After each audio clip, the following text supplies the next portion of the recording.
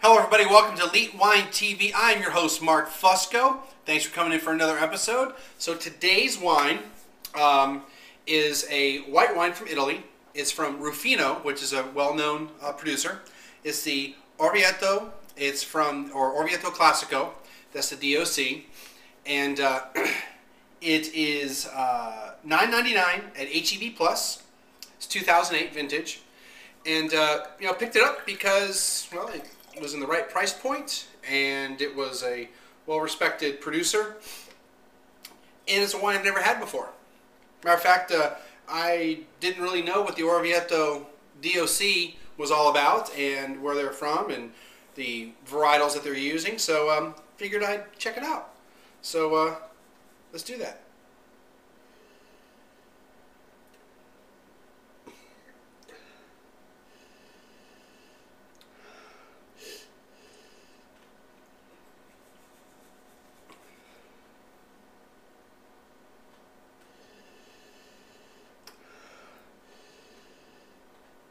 So I'm getting getting citrus out of it.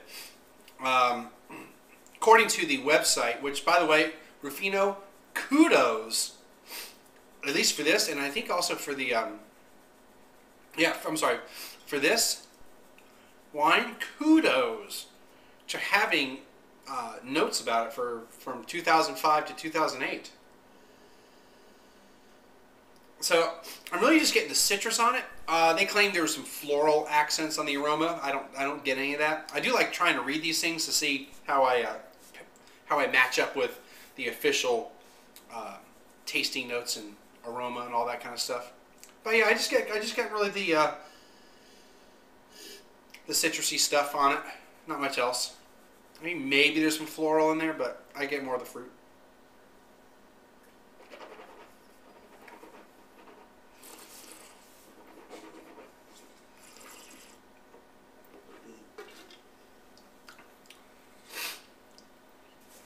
Um, a little bit of acid.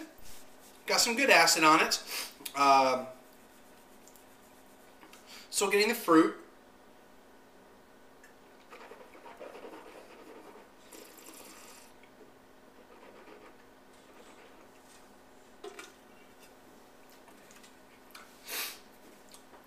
Still very citrusy. Um,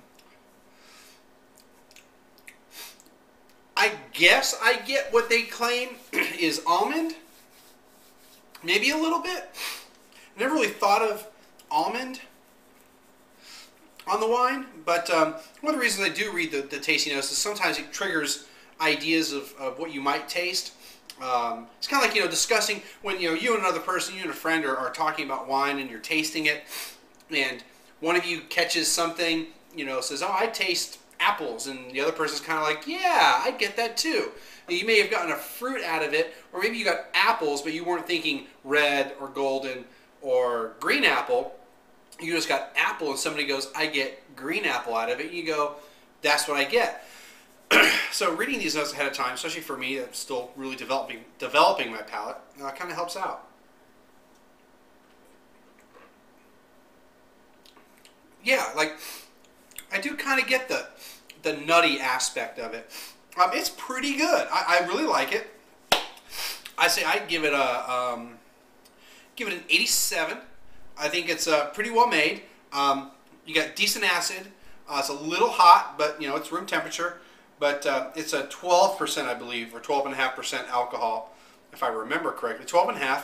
Um, definitely recommend it. Let's talk about Ruffino. Um, we'll, we'll talk about this in particular. Um, the Orvieto uh, DOC in Italy is in central Italy. It's bordered uh, to the west by Tuscany, to the east by Marche, and to the south by Lazio, or Lazio, or Lazio. um, so they're pretty much right in central Italy. This area of Italy has been producing wine for thousands of years, since the Etruscans, who were there before the quote Romans, you know, before Romulus and Remus kind of took over. Um, the Etruscans were in that area, and the Romans eventually overtook the Etruscans because they're kind of in central and north Italy. Um, but they've been producing wine for you know since I don't know 1000 BC, they've been in the area since 1200 BC, and they introduced the early Etruscans introduced uh, wine to the area. Um, now, let's talk about the varietals. Uh, it's 40%. Uh, this particular vintage is 40% uh, Grechetto, 20% Procanico, which is a clone of Trebbiano. So basically, it's Trebbiano. And then the other 40%, and they didn't break this down, which I wasn't really happy about. The other 40% is a mixture between uh, Verdello, not Verdeo, but Verdello, and uh, uh, Bianco. Now, the last two varietals are varietals that, according to what I was able to research, aren't really important varietals, but they, they took up 40% of this particular vintage.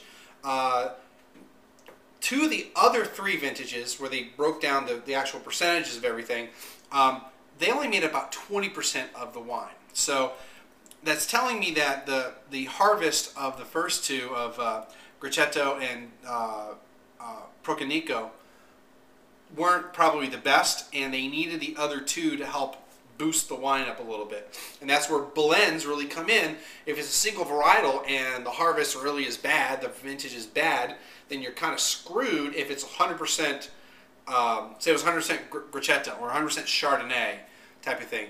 If you've got the blend in there where, um, like in California, it's got to be 75% Chardonnay to be called Chardonnay, or is it 85%? But anyway, um, it has the minimum percentage, but say it's 90% one year, 85% another, you know, based upon the harvest and how things are blended.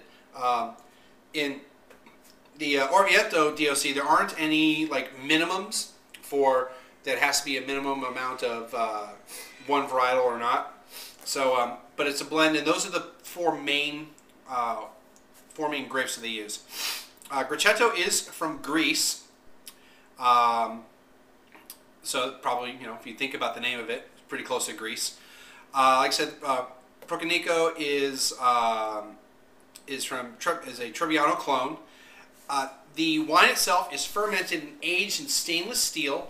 Um, it doesn't say how long it's fermented or how long it's aged in stainless steel. Just says aged in stainless steel until bottled. Uh, it's a 2008, so it can't be really aged for very long, since it's you know probably been out here for a little bit. Um, but uh, again, kudos to Ruffino and uh, having the information on the website. That is so helpful when you're trying to find out stuff about the wine. Uh, excellent. Thank you for watching. Uh, as always, so I haven't really been pitching this much.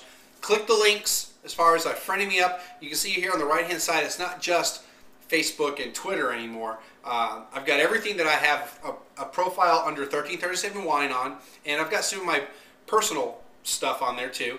Um, friend me up on all that stuff. Send me an email. Uh, subscribe to the website. You know, I have no problem. Subscribe to the feed on FeedBurner. Uh, that way, you get an email every time I put something up on the website. Um, all that kind of stuff. Leave comments down below. Um, donations.